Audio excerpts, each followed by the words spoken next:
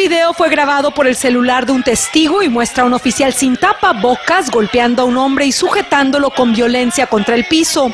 Según el Departamento de Policía de Nueva York, el polémico arresto ocurrió luego de que la policía intentara dispersar a un grupo de personas que estaban violando las normas de distanciamiento social y las cosas escalaron fuera de control.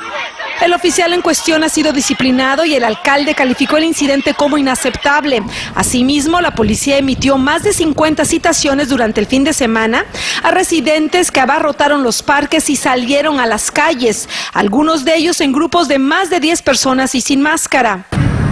Un panorama similar se vieron en las playas marinas y áreas verdes de algunos de los más de 30 estados que están reabriendo gradualmente su economía. Pero es sumamente importante que continuemos las medidas de prevención con máscara, eh, lavándonos las manos frecuentemente, el distanciamiento físico, porque sabemos que la historia nos ha enseñado que en estos tipos de pandemia podemos tener otro segundo pico que pudiese ser hasta peor que primero.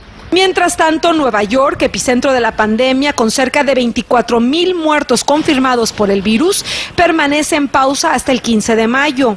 Una fecha que, según las autoridades, podría cambiar de acuerdo con el número de contagios en la próxima semana. Nosotros, los sanos, no podemos volver a ponerle ese estrés al sistema de salud. Tenemos que tratar de mantener esos casos al mínimo. Por tal motivo, la ciudad dispuso a mil agentes para patrullar y supervisar a las personas y también repartir tapabocas gratuitas.